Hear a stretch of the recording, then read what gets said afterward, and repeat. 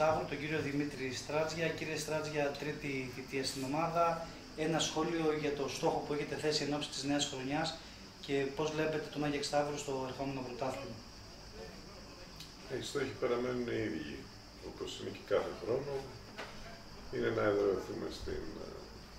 να παραμείνουμε μάλλον στην κατηγορία και να πλασαριστούμε μέσα στην πρώτη εξάδα.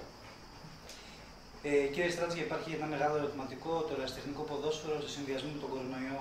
Πώς πιστεύετε θα επηρεαστεί το ποδόσφαιρο από την πανδημία και πώς θα είναι η ομάδα στο ερχόμενο πρωτάθλημα; Φοβάμαι ότι δεν είναι μόνο το ερασιτεχνικό ποδόσφαιρο που έχει επηρεαστεί από τον κορονοϊό. Ε, όλος ο κόσμος, όλη η κοινωνία έχει επηρεαστεί από τον κορονοϊό και τα αποτελέσματα τα οποία έχει φέρει στην οικονομία τα βλέπουμε όλοι. Και όχι μόνο στην οικονομία, αλλά κοινωνικά ε, και σε όλους τους τομείς της, ε, της ζωής μας υπάρχει μια τεράστια αλλαγή. Ε, λοιπόν, ε, μοιραία και στο ποδόσφαιρο θα υπάρξει αλλαγή. Μακάρι να αρχίσει το πρωτάθλημα. Έχω κάποιες πληροφορίες που μου λένε ότι μπορεί και να μην ε, ξεκινήσει αυτό το πρωτάθλημα.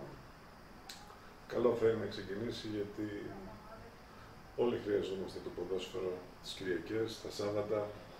Είναι ένα μέσο ψυχαγωγίας για τους περισσότερους από εμάς, κυρίως τους, τους άνδρες. Από εκεί και πέρα, μακάρι να μπορέσουμε να ξεπεράσουμε αυτό το πρόβλημα το οποίο λέγεται κορονοϊός και να έρθουμε σε μια κανονικότητα, διότι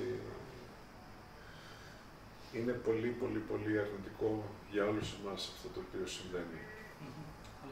Ευχαριστούμε πάρα πολύ. Να είστε καλά.